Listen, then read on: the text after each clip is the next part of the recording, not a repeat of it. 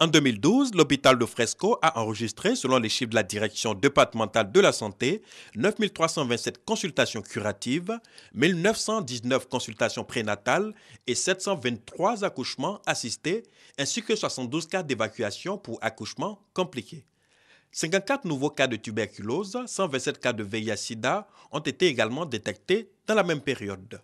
Face aux nombreuses sollicitations dans le but d'offrir un accès aux soins encore plus large aux populations, le Lions Club d'Abidjan à Kouaba a fait don d'une valeur de 25 millions de francs CFA à l'hôpital général de Fresco.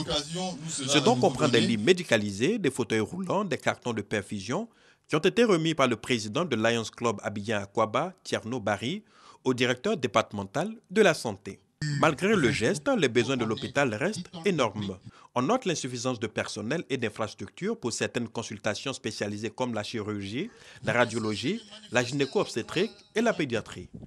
Alain Loboyon, ministre de la Promotion de la Jeunesse, des Sports et Loisirs, par ailleurs député de Fresco, a ainsi offert 10 tonnes de ciment au centre de santé de cette localité côtière pour que l'année de la santé soit une réalité pour les populations.